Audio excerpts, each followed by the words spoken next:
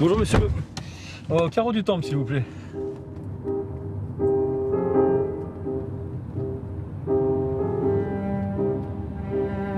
Dieu demande au fond l'impossible.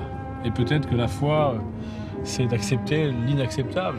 C'est d'être dans une irrationalité absolue.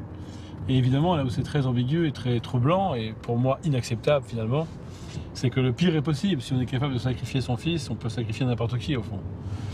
Et donc il y, a cette idée, euh, cette belle idée d'une confiance aveugle au fond. Si Dieu me le demande, je le fais.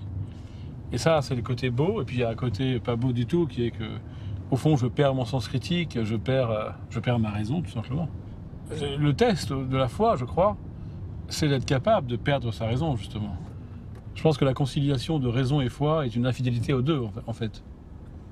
En tant que prof de philo, je fais souvent l'apologie de la modération au sens, au sens grec. Hein de la juste mesure, la mésothèse comme il disait. Et je dis souvent à mes élèves, vous savez, parfois le juste milieu est un sommet. Mais j'avoue que dans ma vie personnelle, euh, dans ma vie amoureuse, dans ma vie euh, tout, court, professionnelle, sportive, je suis plutôt euh, pas modéré. D'ailleurs, c'est marrant parce que quand, vous faites ce métier, soit que vous, êtes, vous enseignez la philosophie, soit que vous, vous êtes philosophe, on va dire, parce que vous écrivez des livres de philosophie par exemple, finalement, il n'y a pas beaucoup de moments où vous pouvez réclamer le droit de ne plus l'être.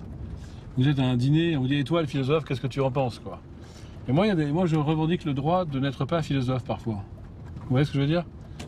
D'être simplement en train de dîner avec des amis ou de courir dans la rue ou d'être avec mes enfants, voilà. Je pense que le philosophe en moi ne dévore pas tout l'homme. Il me semble qu'au au, sein de tous mes désirs, il y, il y, en a un qui est plus important que les autres, comme un axe inconscient autour duquel tout le reste gravite, que j'arrive à peu près à identifier je crois que c'est euh, être un certain type de vivant ayant une certaine exigence quant à l'existence elle-même. Et je crois que, que mon moteur, c'est d'être fidèle à, fidèle à ça. Merci beaucoup, au revoir, à bientôt. Passez une bonne journée.